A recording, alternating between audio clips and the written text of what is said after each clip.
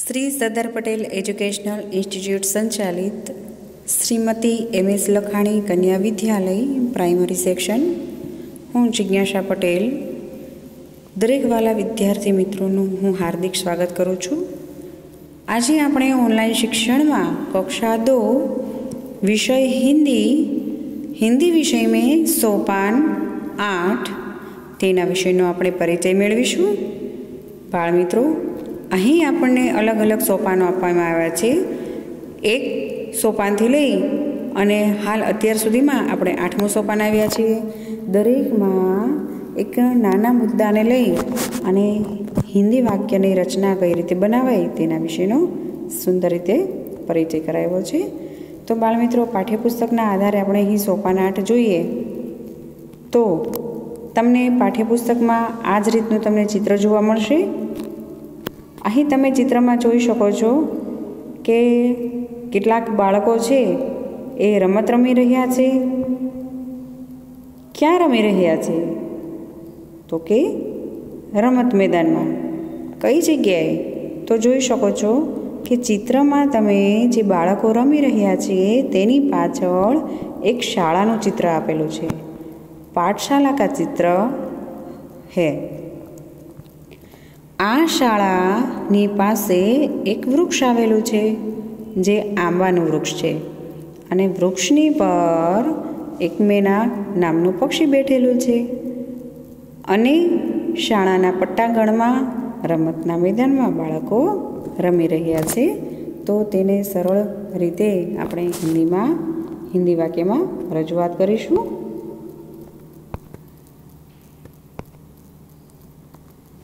ગરમી કે દિન હે? જુઓ બાળ મિત્રો ગરમી કે દિન એટલે કઈ ઋતુ થશે? ઉનાળો. ઉનાળાની ઋતુ એટલે કે ગરમી કી ઋતુ. ગરમી કે દિન હે? એ દિવસોમાં ખૂબ જ ગરમી પડતી હોય છે. સબ લડકે પાઠશાળા જાતે હે. તમે પણ બાળ મિત્રો માર્ચ મહિનામાં, એપ્રિલ મહિનામાં જ્યારે શાળાએ આવતા હો છો, ત્યારે એ બધા મહિનાના દિવસ છે, એ ગરમીના દિવસો છે, એટલે કે ઉનાળાના દિવસો છે. તો ત્યારે તમને ગરમીનો અનુભવ વધારે થતો જોવા મળે છે. સબ લડકે પાઠશાલા જાતે હે, બધા જ છોકરાઓ શાળાએ જાય છે. પાઠશાલા કે સામને બડા મેદાન હૈ, શાળાની સામે એક મોટું મેદાન છે. બડા એટલે મોટું, સામને એટલે સામેની તરફ, સામેની બાજુ. પાઠશાલા કે પાસ આમ કા પેડ હે? હમણાં મેં ચિત્રના આધારે કહ્યું હતું કે શાળાનું ચિત્ર આપેલું છે અને શાળાના બિલ્ડિંગની બાજુમાં, શાળાના મકાનની બાજુમાં એક સુંદર મજાનું વૃક્ષ છે. એ વૃક્ષ કયું છે? તો કે આમનું વૃક્ષ.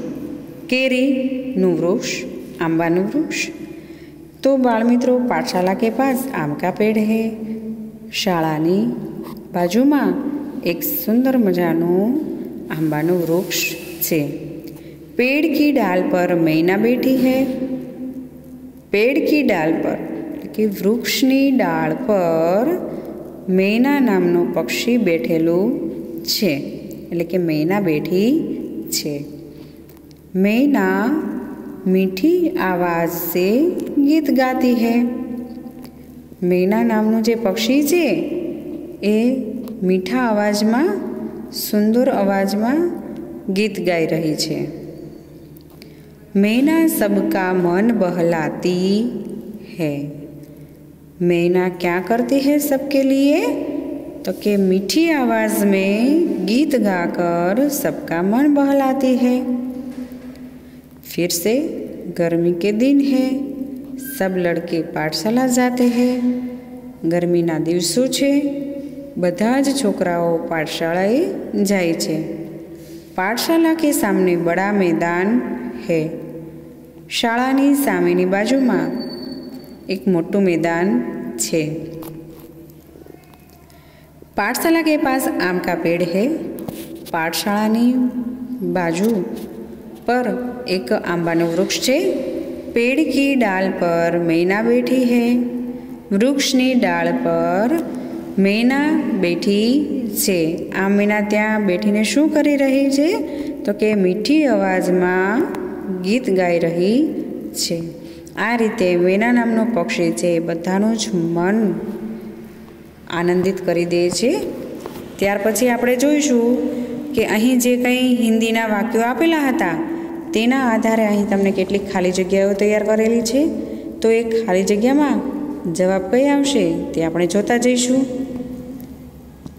પેલી ખાલી જગ્યા છે पाठशाला के पास खाली जगह का पेड़ है पाठशाला के पास खाली जगह का पेड़ है कौन सा पेड़ है આમ કા પેડ હે બાળ મિત્રો અહીં જે તમને લાલ અક્ષરે જે આપેલું છે એ તમારો ખાલી જગ્યાનો જવાબ છે પછીની ખાલી જગ્યા આપણે જોઈએ તો पेड़ की डाल पर खाली जगह बैठी है पेड़ की डाल पर क्या बैठी है मैना पेड़ की डाल पर मैना बैठी है अब तीसरी